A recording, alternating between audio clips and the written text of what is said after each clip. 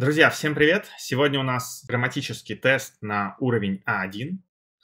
То есть, пройдя сегодняшнее видео, посмотрев его и сделав все упражнения, а потом выслушав правильные ответы и подсказки от меня, вы сможете понять, реально есть ли у вас А1 в плане грамматики, или в некоторых темах нужно еще все-таки прибавить. Для этой цели я нашел довольно объемный тест одной из немецких языковых школ, то есть он составлен немцами, и действительно, на мой взгляд, он тоже весьма хорош. Он точно показывает все, что вы должны знать. И первая тема у нас самая очевидная, но и одна из самых сложных в то же время. Это правильное определение артиклей. Итак, давайте будем работать следующим образом. Сейчас вы ставите на паузу, а я даю буквально 5 секунд, и проставляете свои варианты ответов, свои правильные артикли. Затем мы включаем видео, и вы слушаете правильные ответы и подсказки, почему и что и как работает в немецком языке. Итак, слушаем. Das Hobby. Большинство англицизмов в немецком языке среднего рода. Der Mann. Мужчина, понятно, что это мужской род плюс большинство слов, которые не имеют каких-то суффиксов, то есть не длинные, а слова, состоящие из одного слога. Тыш, штуль, ман, шранк. 8 из 10 слов подобного вида будут мужского рода. Küche. Большинство слов, которые оканчиваются на «е», женского рода. Der Computer. Большинство слов, которые оканчиваются на «ер», мужского рода. Das Fahrrad. Здесь никаких подсказок очевидных нет, что велосипед в немецком среднего рода, но мы можем сделать некую цепочку. Das Auto – средний род, das Fahrrad – средний род, das Schiff – корабль – средний род, das Flugzeug – самолет – средний род. То есть целая цепочка транспортных средств, и все они среднего рода, одно слово цепляется за другое, и таким образом запоминается намного проще. И das Telefon.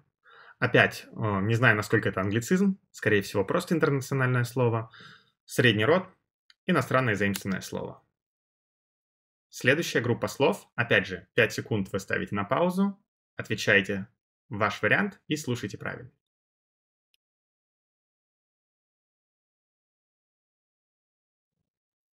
Die Milch.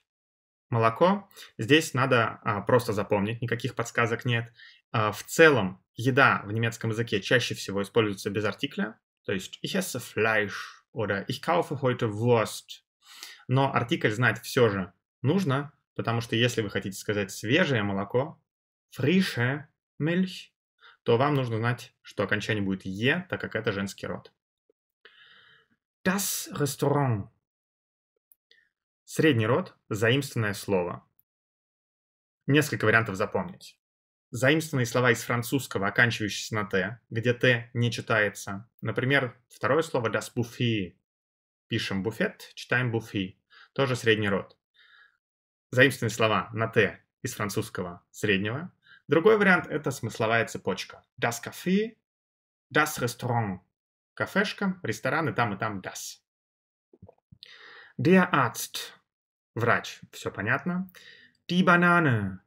Опять на Е. Большинство слов женского рода. Die Seife. То же самое.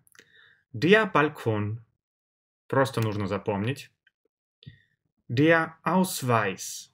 То же самое, надо запомнить. И последняя группа слов. У вас 5 секунд.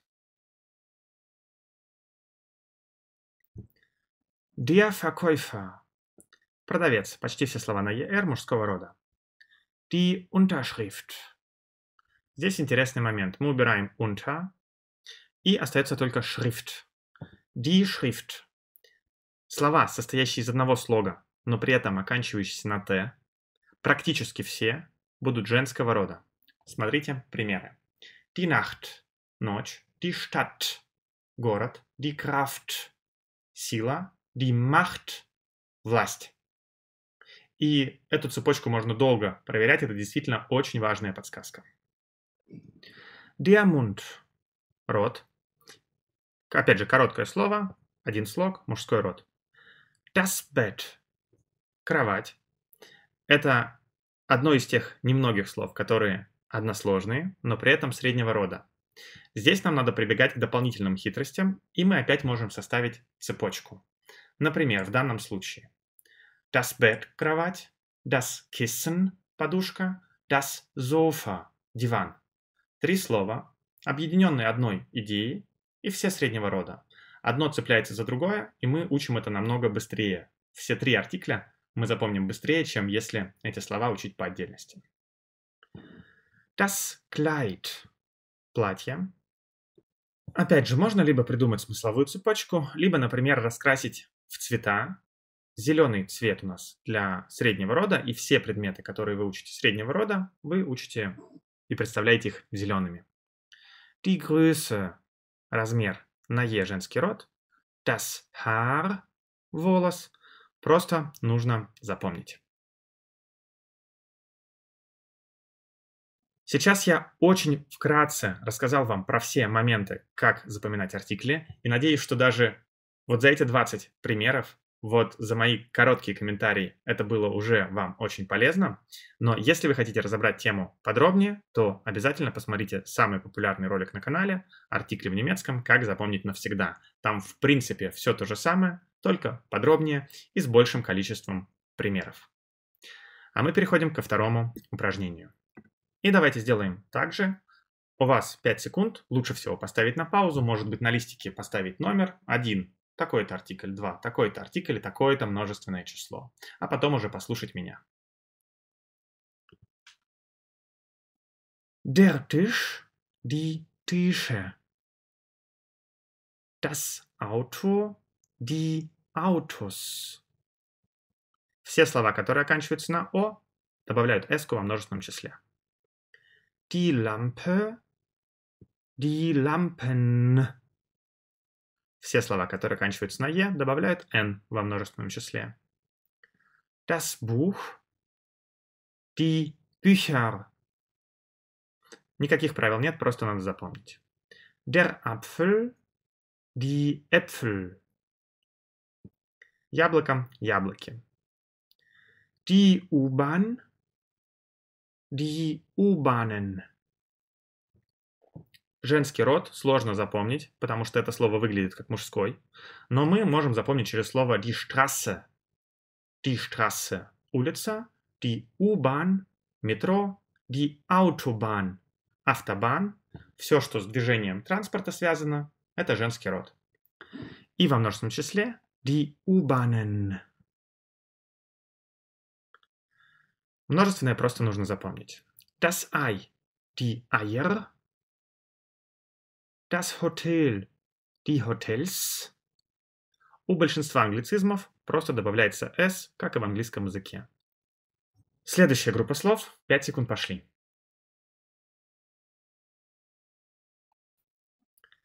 Der Name, die Namen. Имя, имена. На «е» в, во множественном числе всегда добавляется «n». Die Freundin, die Freundinnen. Подруга, подруги. У всех слов, которые женского рода на «ине» оканчиваются, во множественном добавляется «не», «ене». Freundinnen. Lehrerin, Lehrerinnen. Учительница, учительницы. Der Sohn, die Söhne. Сын, сыновья, и надо просто запоминать. Die Anmeldung. Какая-то заявка, заявление. Die Anmeldungen. Все слова на «унг» во множественном добавляют «en». Das Getränk. Die Getränke. Множественное просто запоминаем. Что касается артикля, почти все слова на «г» в немецком языке, которые начинаются на «г», будут среднего рода. Ну, не почти все, наверное, процентов 80. Большинство абсолютное. Der Bruder, die Brüder. Во множественном просто добавляем умляут. Брат, братья. Die Pause. Во множественном die Pausen. Перемена, перемены. На Е просто добавляем N. Das Konzert. Die Konzerte. Концерт, концерты. Просто нужно выучить. И последняя группа слов.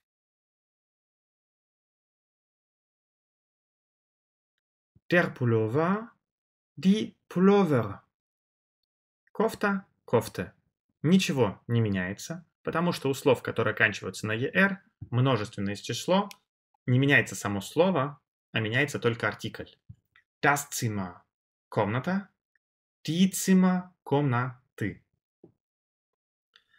Die Tasche – сумка, die Taschen – сумки, das Sofa – диван, die Sofas – диваны, заимственное слово, der Garten – сад, die Gärten – сады. Здесь, в этом э, файле, также есть все ключи и правильные ответы, чтобы можно было себя проверять. Но чтобы самостоятельно этой темой полностью владеть, вам опять же необходимо посмотреть ролик, который подробно разбирает эту тему. И здесь, в плейлисте «Вся грамматика немецкого языка», по сути, весь курс немецкого языка, где все ролики идут в правильном порядке, и весь курс уже, в принципе, записан, все объяснено.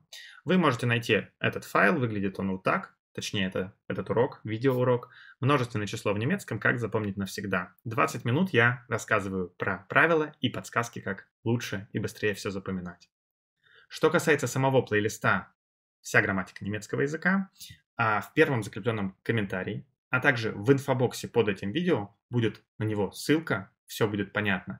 И вы, пожалуйста, сохраните себе это, эту ссылку, и просто по порядку можно смотреть ролики по любой интересующей вас теме в немецком языке. Идем дальше. У нас определенный артикль в аккузативе и дативе. А, тема падежи в немецком относительно сложная, но фишка в том, что на уровне А1, именно чтобы сдать экзамен, вам не обязательно самим всегда правильно ставить падежи. Но вы уже в общем должны знакомы быть с этой системой, понимать примерно, как она работает, и в тексте уметь определять, вот это датив, потому что здесь вопрос «кому?». А вот это аккузатив, потому что здесь вопрос кого. То есть в первую очередь вы должны уметь воспринимать эту информацию, и пока не обязательно, хотя и желательно, сами уметь строить правильные предложения с правильными падежами, то есть с правильными артиклями. Окей, что здесь опять очень сложно, что нам нужно знать также и артикль сам слова, чтобы правильно потом его поставить в правильный падеж. И в этом заключается, наверное, самая большая сложность в немецком языке, что даже если вы идеально выучили таблицу падежей, то есть мужской род der, den, dem, средний род das, das, dem, женский род die, die, der, и во множественном числе die, die, den, все артикли вы идеально знаете, но если вы не знаете сам изначальный артикль слова хлеб, das Brot, der Brot или die Brot, то вы э, не сможете этой таблицей правильно пользоваться. Поэтому в первую очередь мы учим артикли, и поэтому тот ролик, один из первых на моем канале, который подробно объясняет, как запоминать этот артикль, это действительно самое-самое важное в немецком языке. Самое сложное. Итак, у нас das Brot. Здесь тоже я подсказку всегда даю. Запоминаем das Brot и das Bier. Хлеб и пиво, потому что пиво у немцев даже есть такая шуточная поговорка, что пиво это жидкий хлеб. И смотрим еще более внимательно. Здесь они от нас просят просто поставить аккузатив. То есть уже изначально в этом упражнении все будет в аккузативе. И нам думать, в принципе, об этом не нужно. Итак, ваши 5 секунд.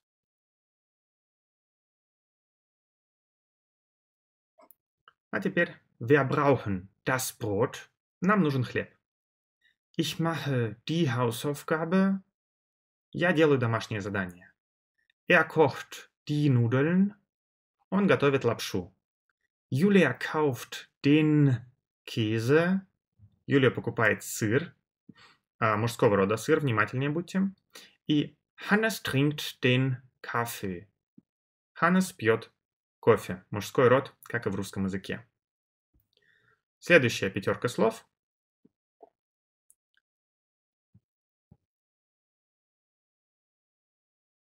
Hast du die Zeitung? У тебя есть газета? Familie Meyer bringt das Gemüse mit. Семья Майер принесет овощи с собой. Der Vater hat den Schirm. У отца есть зонтик. Вообще зонтик Regenschirm, но слово Regen, первая часть слова часто отпадает, и в разговорном языке все говорят просто der Schirm, зонт. Lest ihr das Buch? Вы читаете книгу? Sie kaufen die Schuhe. Они покупают обувь или ботинки. Это множественное число. И в этом упражнении я не буду комментировать, почему здесь в каждом конкретном моменте аккузатив, потому что отдельный урок, почему и как работает система падежей, почему аккузатив и когда надо ставить, и когда датив. Это ролик длится около 30 минут, это очень серьезная работа. И опять же, в том плейлисте, ссылку на который вы можете найти в первом закрепленном комментарии, внизу пролистайте, вы просто найдите уроки номер 10, 15 и 18. И вы поймете абсолютно все в самом подробном развернутом виде, что нужно знать о падежах в немецком языке. Дальше работаем только с дативом. Опять же, здесь супер они упростили эту задачу, что в принципе отвечает э, тому, что я говорил в начале. Вам в первую очередь нужно быть знакомыми с этой темой, а не идеально самим строить предложения с правильными артиклями. Просто знать как примерно, как все работает и воспринимать ее. На уровне А1. На А2 уже вообще практически необходимо знать и полностью свободно этой системой пользоваться. Окей. Пять секунд.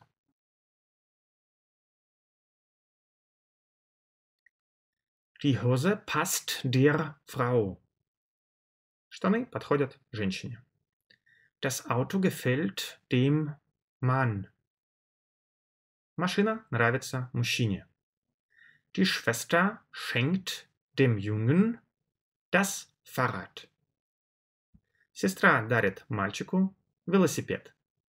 Также здесь возможно den Jungen и будет переводиться как мальчикам. Все дело в том, что слово der Junge относится к так называемому N-deklination, или по-русски его называют слабое склонение, и это отдельная тема, которая обычно проходится на уровне примерно B1. У меня, конечно же, есть отдельное видео. Если вам уже интересно заглянуть немножко вперед, то урок 37 на этом канале, N-declination, все очень понятно описано. То есть, а, кратко пока здесь, мы можем это предложение с артиклем dem Jungen сказать. Это будет правильно мальчику или den Jungen мальчикам. И у нас от артикля, исключительно от артикля зависит, как мы будем понимать и переводить это предложение. Само слово не будет меняться. Но хорошая новость в том, что таких слов не очень много, и это встречается не очень часто. Der Lehrer hilft den Schülern. Учитель помогает школьникам. Der Pullover steht der Freundin. Кофта хорошо сидит на подруге, а, или можно перевести идет девушке. То есть по-русски мы говорим тебе идет платье, а по-немецки das Kleid steht dir gut. То есть оно тебе стоит хорошо, получается. И следующие четыре примера, поэтому 4 секунды. Если не успеваете, ставьте, конечно, просто на паузу. Das Buch gefällt dem Mädchen. Книжка нравится девочке. Не забываем, что девочка среднего рода, и поэтому dem Mädchen. Julia hilft der Großmutter. Юлия помогает бабушке. Der Hut passt dem Verkäufer. Шляпа подходит продавцу. Die Röcke stehen den Tänzerinnen. Юбки идут танцовщицам. Множественное число, видите, n удваивается, я об этом говорил в первом упражнении. А, и, кроме того, опять же, etwas steht dir gut, что-то тебе идет. Запоминаем фразу, очень такая разговорная, полезная. Следующая тема – это личные местоимения в немецком языке. Понятным языком это он, кого его, кому ему. Или ты, кого тебя, кому тебе. 17 урок на канале. Я прошу, обязательно записывайте и потом просматривайте уроки, если у вас вдруг есть ошибки. Если нет ошибок, значит вы уже освоили полностью уровень А1, и вам это в принципе не нужно, можно идти дальше. Кстати, прежде чем мы начнем, наверное, кратко скажу о том, что, скорее всего, это последний ролик в этом году, и на следующий год у меня действительно грандиозные планы, И если вам нравится, как я объясняю и преподаю немецкий, обязательно ставьте лайк под этим и под другими видео. Это поддерживает и мотивирует меня на новые видео, на то, чтобы я выпускал видео не раз в месяц, а раз в неделю, как я делаю это последнее время. И в новом году я думаю, что буду уже больше заниматься уровнем А2, Б1, то есть все-таки мы все основные темы на А1 уже разобрали, то есть уровень у нас будет расти, и если все, что вы сейчас видите, это для вас легко, то в следующем году будет интереснее и посложнее. Окей. Uh, das Auto ist schön. Ich kaufe es. Машина красивая, я покупаю ее. Почему S? Потому что машина das Auto, среднего рода. Der Wein schmeckt gut. Ich trinke ihn gern. Вино вкусное, я пью его с удовольствием. Meine Freundin hat Geburtstag. Ich rufe sie an. У моей подружки или девушки день рождения. Я звоню ей. Morgen habe ich frei. Ich freue mich schon. Завтра я свободен, у меня выходной. Я уже радуюсь, как бы заранее радуюсь. Здесь, на мой взгляд, это неправильно они использовали, потому что sich freuen – это возвратный глагол, и это, в принципе, отдельная тема. У меня на канале урок по возвратным глаголам – это номер 21. Но темы действительно очень похожи между собой. Я бы просто их не мешал, чтобы не путать изучающих э, немецкий язык. Ну, соответственно, я в своем курсе их не мешаю. Дальше. Unsere Eltern wohnen in Hamburg. Meine Schwester und ich besuchen sie oft. Наши родители живут в Гамбурге, моя сестра и я посещаем их часто. Maya und Jens, es ist schön, euch zu sehen. Здесь такой неочевидный момент. Майя и Йенс – это два наших друга. Мы к ним на «ты» обращаемся, но во множественном числе. И мы говорим, это прекрасно видеть вас. Euch zu sehen. Вас видеть. Почему ЦУ – это отдельный урок, отдельная история. Обычно, опять же, как минимум на уровне А2 это проходится. А что касается именно вот этого er in sie, sie, ihr, wir, uns, uns, как будет нас, нам, вас, вам и так далее. Повторюсь, это 17 урок на канале. Следующая группа, всего 4 примера, и поэтому 4 секунды. Ich liebe dich. Я люблю тебя. Хотя, в принципе, можно сказать, я люблю его или ее. Ich liebe ihn, его, или ich liebe sie, ее. Здесь без контекста непонятно, но очевидно, что авторы этого теста имели в виду, что я люблю тебя. Ich liebe dich. Julia und ich, wir treffen uns morgen. Юлия и я, мы встречаемся завтра. Опять же, возвратный глагол, другая тема. Очень похожая на эту, но другая. Wo sind Clara und Mario? Hast du sie gesehen? Где Клара и Марио? Ты их видел? Das Hotel war gut. Ich kann es empfehlen. Отель был хорошим, я могу его рекомендовать. Его S, потому что das Hotel. Примерно то же самое, но теперь у нас личное местоимение в дательном падеже. И здесь они даже подсказывают, какое личное местоимение использовать. И у вас 6 секунд.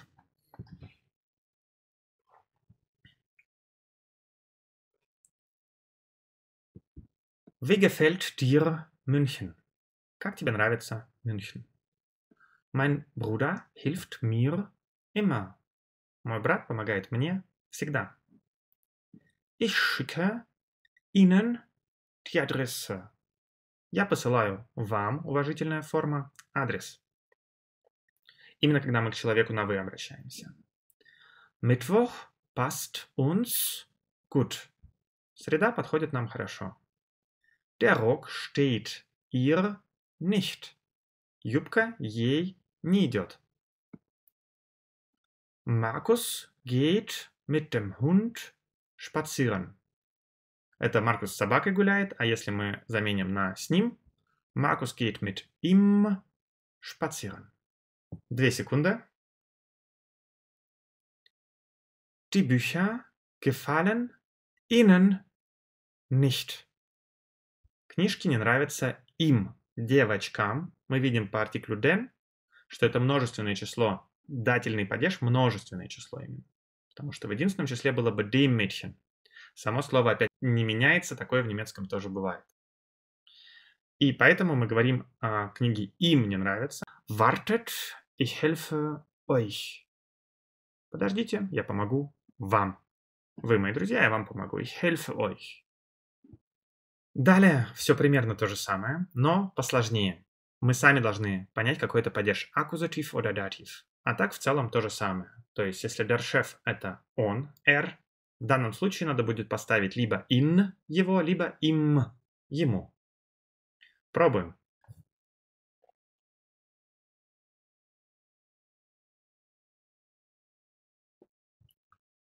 Hast du ihn gefragt? Ты его спросил?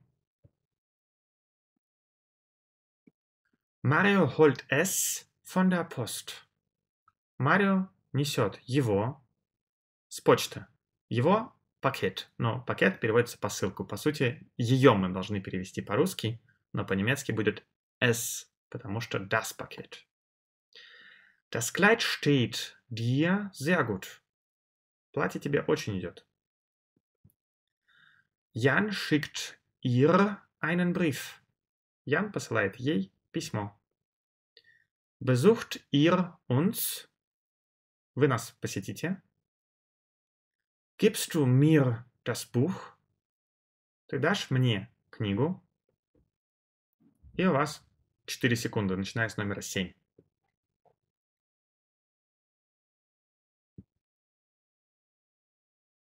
Schmeckt euch das Essen?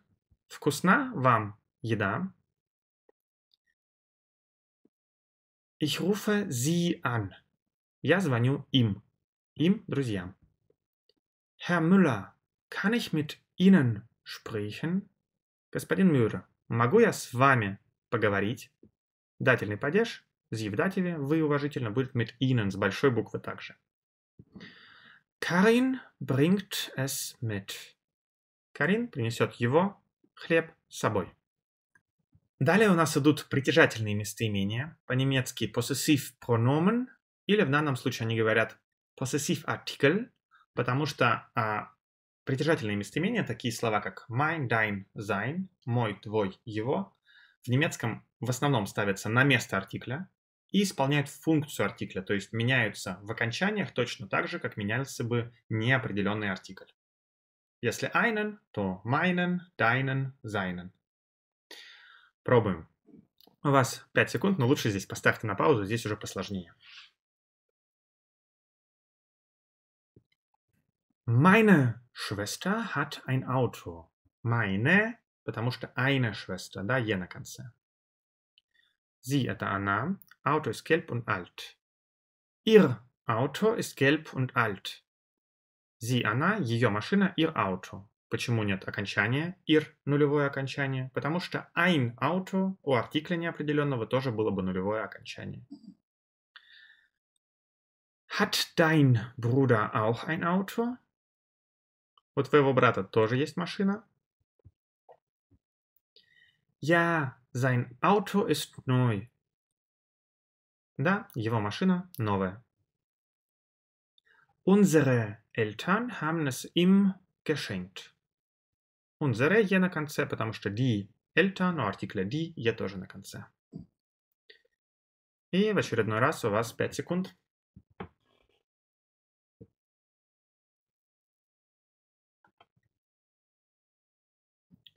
Ich habe ein Fahrrad. Seine Farbe ist rot. У меня есть велосипед, его цвет красный. Ир, будьте внимательны, это вы, друзья, множественное число. Поэтому ваш сосед, это будет Euer Nachbar hat mir das Fahrrad geschenkt. Ваш сосед подарил мне велосипед. Wir, мы, нам надо сказать наш. Или здесь множественное число, поэтому unsere Nachbarn haben viele Fahrräder. Да, у наших соседей есть много великов. Соседи. И видим Их дочь красивая. Их соседей. Und ihre Tochter ist hübsch. Их дочь милая, красивая. Mein Nachbar wohnt allein und geht zu Fuß. Мой сосед живет один и ходит пешком. Дальше у нас идет то же самое. Mein, dein, sein, ihr, unser, euer и последнее ir. И напомню, что это седьмой, очень важный урок в плейлисте «Вся грамматика», но здесь уже аккузатив. То есть мы вместе работаем над темой притяжательные местоимения и падежи в немецком языке. Здесь еще одна маленькая подсказка. Чтобы правильно поставить необходимое притяжательное местоимение, вы всегда смотрите на подлежащее. Wir значит unsere. Wir treffen unsere Freunde. Итак, несколько секунд, пауза, а потом правильные ответы.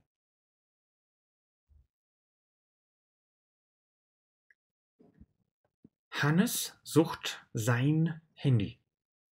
Hannes ищет свой телефон. Ich frage meinen Lehrer. Я спрашиваю моего учителя. Julia besucht ihre Freundin. Julia посещает свою подругу. Mario und Claudia, wo sind eure Bücher? Марио и Клавдия, Клавдия, Клаудия, наверное. Где ваши книги? Jan Ich habe deine Brille gefunden. Ян, я нашел твои очки. И еще 4 секунды.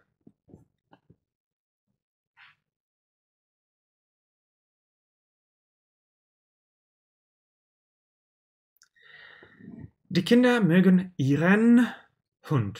Дети любят свою собаку. Frau Meier, haben Sie Ihren Pass mitgebracht?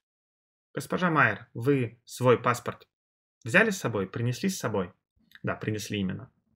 Ihren Pass, мужской род аккузатив, поэтому en.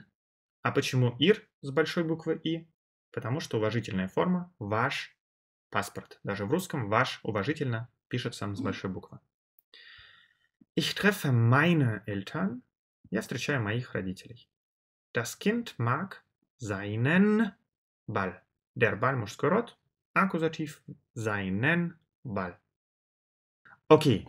Наверное, самое сложное пока из всех упражнений, которые здесь были, а, для начинающих, если вы учите где-то на курсах и вам многое непонятно, это действительно, наверное, сложно, но если вы пройдете 10 уроков по моему курсу, и все эти уроки есть в свободном доступе на YouTube, я обещаю вам, что все сложится как 2 плюс 2 и будет крайне понятно и просто. Следующее упражнение. Это то же самое, но здесь мы должны сами думать. Именительный падеж mein Bruder или винительный падеж аккузатив meinen Bruder. Mein Vater ist Arzt. Мой отец врач. Markus besucht oft seine Freunde. Маркус посещает часто своих друзей. Kann ich Ihre Adresse haben? Могу я ваш адрес иметь, ну то есть взять, с большой буквы Ihre Adresse. Unsere Eltern fahren nach Spanien. Наши родители едут в Испанию. Deine Tasche gefällt mir. Твоя сумка нравится мне. Das Mädchen ruft seine Großmutter an. Девочка звонит своей бабушке.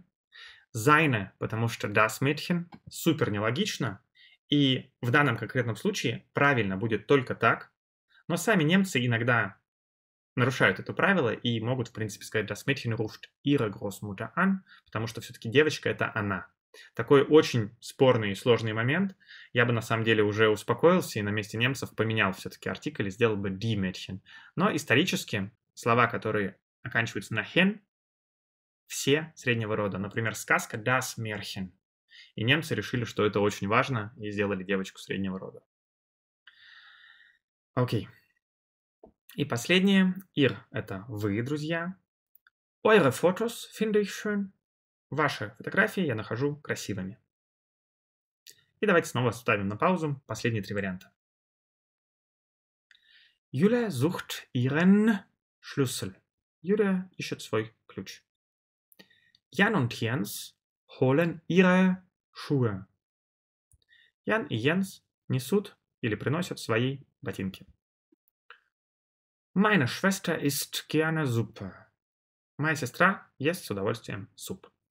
И мы на экваторе, и если вы учите немецкий всего несколько месяцев, то, скорее всего, у вас мозг уже довольно сильно должен был устать. Поэтому здесь имеет смысл сделать паузу и продолжить, например, через 5 или 10 минут. Вообще, в целом, при изучении немецкого языка очень важно заниматься примерно 30 минут и потом хотя бы 5 минут давать себе отдых. Вот эти блоки по 30 минут – это самое продуктивное изучение. Следующее упражнение проверочное – это просто правильно проставить глаголы с нужными окончаниями. Все зависит, как всегда, от подлежащего. И давайте опять ставим на паузу, потом слушаем правильный ответ. Wir kaufen den Käse. Мы покупаем сыр. Hannes geht spazieren. Hannes идет гулять. Julia und Clara reisen nach Italien. Юлия и Клара путешествуют в Италию. Trinkst du gern Kaffee? Ты пьешь с удовольствием кофе? Ich mache meine Hausaufgaben. Я делаю мои домашние задания. Schreibt ihr einen Brief? Вы пишете письмо? Вы – множественное число, вы друзья. Карин hört Musik. Карин слушает музыку. Woher kommen Sie? Откуда вы, уважительно? Вы, госпожа Меркель. Das Handy liegt in der Küche. Телефон мобильный лежит на кухне. Die Jungen spielen Fußball. Мальчики играют в футбол. Singst du gern? Ты поешь с удовольствием? Der Vater grillt das Gemüse. Отец жарит на гриле овощи. Жарить на гриле одно слово grillen. Ich mache einen Salat. Я делаю салат. Spielt ihr Tennis? Вы играете в теннис? Вы друзья? И последний отдельный момент. Die Touristen fotografieren das Rathaus. Туристы фотографируют ратушу. Далее мы переходим к точно таким же глаголам, но при этом это глаголы с меняющейся корневой гласной. Об этом есть на канале отдельное видео, очень подробное. Сегодня просто ставим на паузу, делаем ваши варианты, а потом слушаем правильный ответ.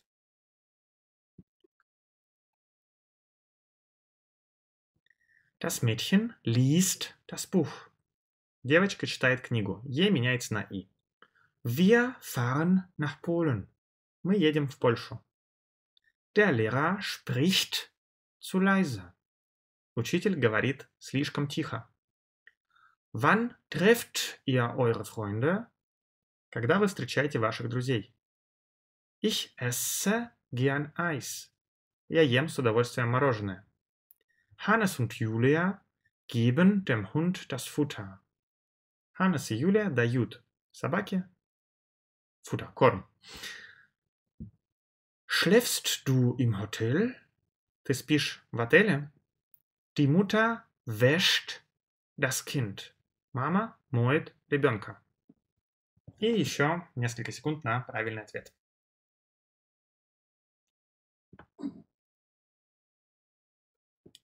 Herr Meier, wann fahren Sie nach Berlin?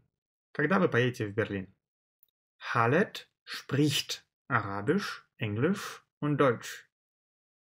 Халид говорит на арабском, английском и немецком. Was isst du zum Frühstück? Что ешь ты на завтрак? Markus trifft einen Kollegen. Маркус встречает коллегу. А, Здесь единственное число. Мы это видим по артиклю einen. Неопределенный артикль бывает только в единственном числе. А энка, потому что это то самое эндеклинацион, слабое склонение, о котором я говорил чуть выше. Susanne liest am Sonntag die Zeitung.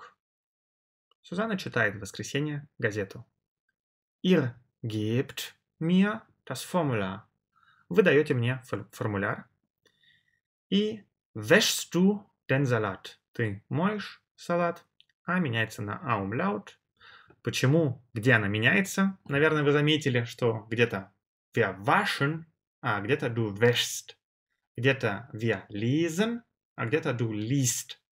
Где е, где и, где а, где аумляут. Все в уроке номер 5 подробно разбирается на этом канале. И это еще не весь тест. На самом деле тест в два раза больше. Мы прошли ровно половину. И давайте сделаем так. Если вдруг вам действительно понравилось это видео, действительно понравился такой формат, то вы ставите сейчас лайк этому видео, и через неделю, в следующую субботу, на канале выйдет вторая, такая же подробная часть. Если этот ролик за неделю набирает тысячу лайков, мы выпускаем это видео в этом году. Если вдруг нет, тогда в следующем году, примерно в середине января, выйдет вторая часть видео. Там мы увидимся тогда, либо через неделю, либо через 3-4 недели. Спасибо всем, кто в этом году пришел на мой канал. Спасибо всем, кто поддерживает меня лайками и комментариями. Я действительно как-то больше стал стараться и планирую в следующем году не сбавлять обороты. Я надеюсь, увидимся скоро. Пока.